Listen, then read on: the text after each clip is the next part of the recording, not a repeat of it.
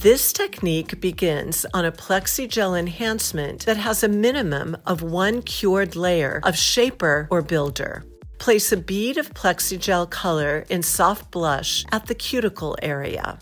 Apply spiced taffy in the center of the nail, lightly blending it into the soft blush. Apply milky mauve at the extension edge, blending it into the spiced taffy. Do not cure and allow the colors to self blend. Use an ombre brush to lightly feather and blend the colors together while perfecting the upper arch apex. Cure for one minute on button 2B. Remove top film. Refine and smooth the nail using a 180 grit file or buffer. Clean the nail. Finish with protector top coat.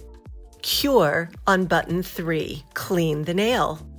Apply a drop of solar oil.